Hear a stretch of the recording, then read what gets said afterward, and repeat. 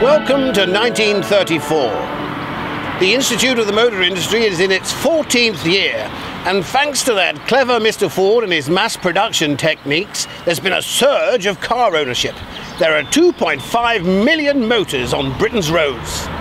Not all cars on the road at the moment are as beautiful and sophisticated as this Rolls-Royce Phantom 2, but the technological leap endured by these chappies, who have moved from looking after the horse to the motor car, is massive. In the early days of motoring, of course, lots of blacksmiths turned their hand to car maintenance for obvious and sound economic reasons. So today there are literally thousands of garages and mechanics up and down the country available to service motor cars.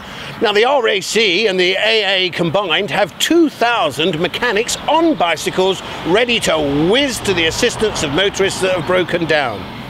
The IMI has 3,000 members and it's helping newcomers to the business get the skills and qualifications they need to look after these babies properly. Cheerio, modern Britain, and make sure you subscribe to the IMI YouTube channel.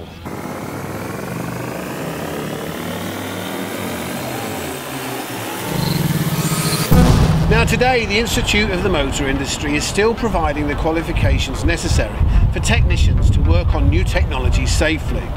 Coincidentally, like 1934, there are 2.5 million cars on the road. And of course what I mean is 2.5 million hybrid and electric vehicles, like this handsome beast, the Mitsubishi Outlander PHEV. The technological leap between the combustion engine and electric powered cars like this is not dissimilar from the jump between the horse and the car. Because look under the bonnet of one of these beauties and you find a completely different animal. Unlike in 1934, the number of people who are qualified to work on cars like this is relatively small. There's only about 2,000, so each one of them's got 1,500 cars to look after. And yes, they're really busy.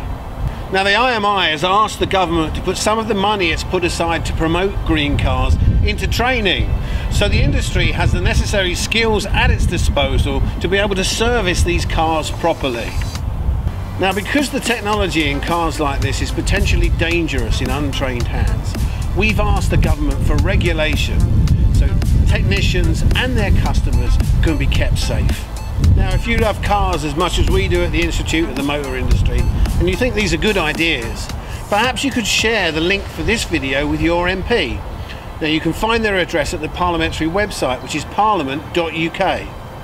Thanks for your help.